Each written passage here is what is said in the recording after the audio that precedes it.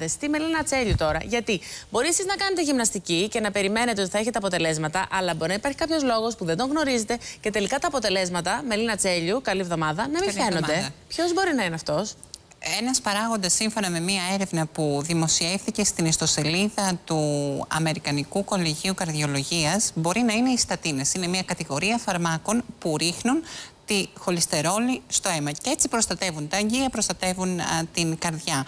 Είναι μια ερμηνεία η οποία βεβαίως και περιμένει ε, επιπλέον επιβεβαίωση, ωστόσο θέτει ένα σημαντικό δίλημα στους γιατρούς και πρέπει να θέτει ένα δίλημα στους γιατρούς για το πώς ξεκινάμε αρχικά όταν έρχεται ένας άνθρωπος με ανεβασμένη την κακή χολυστερόλη, αυτό το οποίο ίσως θα δείτε στις εξετάσεις σας, LDL. Αυτή είναι η κακή χολυστερόλη και πάρα πολλοί λένε «Α, έχω α, ολική χολυστερόλη ανεβασμένη». Ναι, αλλά αυτό που κάνει κυρίως τη ζημιά είναι η κακή χολυστερόλη LDL. Πρέπει λοιπόν όμως να τα βάλουμε σε μία βάση και σα ακούσουμε μαζί τι είπε ο καθηγητής καρδιολογίας, ο Χριστόφιλο Στεφανάδης, για αυτή την κατηγορία φαρμάκων που, Κωνσταντίνε, πρέπει να σου πω ότι μετά την ασπιρίνη, την πενικυλίνη, είναι ακόμη μία κατηγορία φαρμάκων blockbuster. Ακούστε. Οι στατίνες είναι μια ομάδα φαρμάκων που αποτελεί, απετέλεσε επανάσταση στην ιατρική, στη θεραπευτική τις τελευταίες δεκαετίες είναι τα πρώτα φάρμακα τα οποία ρίχνουν τη χολυστερόλη αλλά παράλληλα προστατεύουν και από την χειροτέρευση της αθυροσκλήρησης η οποία προξενεί τα καρδιακά επεισόδια, τα εγκεφαλικά και γενικότερα τις βλάβες που προκαλούνται από την ε, σκλήρηση και τη στένωση των αρτηριών ε, λόγω της αθυροσκλήρησης.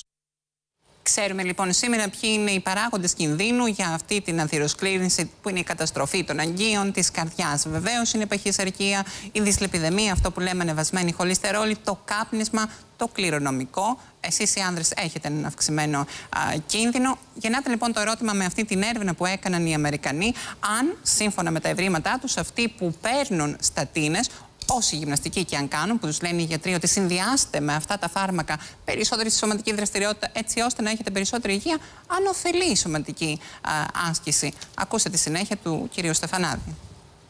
Οι γιατροί ίσως πολλές φορές βρίσκουν την εύκολη λύση, δίδοντας στατίνε στον ασθενή, του ρίχνουμε τη χολυστερόλη και προστατεύουμε εμέρη ή σε μεγάλο βαθμό τον οργανισμό του, τις αρτηρίες του από αυτή την βλαβερή ε, παρουσία της υψηλής χολυστερόλης. Αυτό όμως μπορούμε να το κάνουμε και με άλλες, πιο ανέξοδος και πιο ε, ακίνδυνες θα έλεγα, σε εισαγωγικά για τον ασθενή, για το θεραπευόμενο μεθόδους. Νομίζω ότι έχουμε πλέον την καλύτερη επιβεβαίωση για αυτό το που λένε συχνά οι γιατροί δεκαετίες τώρα ότι η σωματική δραστηριότητα είναι η καλύτερη προστασία για το καρδιαγγειακό μας σύστημα.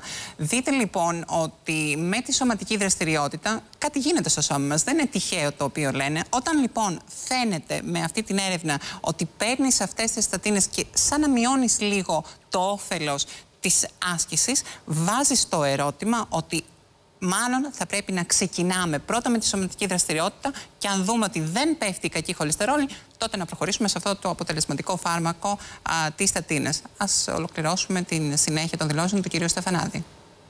Αυτό έρχεται να επισημάνει ένα πρόσφατο άρθρο σε μεγάλο περιοδικό ε, αυτό ακριβώς το δίλημα.